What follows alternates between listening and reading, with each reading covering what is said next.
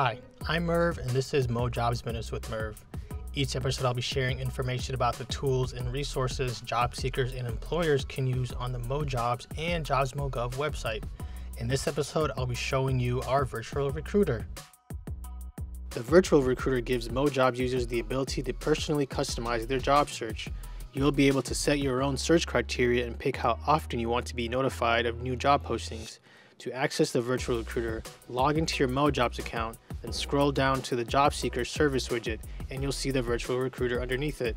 Or go to the drop down menu on the top left corner of your screen and scroll down to the quick menu section.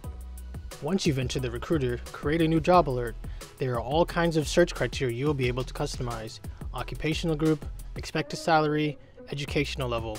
You can even upload your resume for a more advanced job search, whatever you prefer hit the search button, then scroll through and view your matches.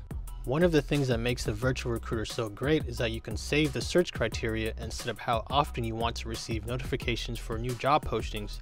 And if you prefer, you can have notifications emailed to you. So give the virtual recruiter a try and get started on the path towards your next job today. That's it for this episode. Be on the lookout for more videos like this with me, Merv.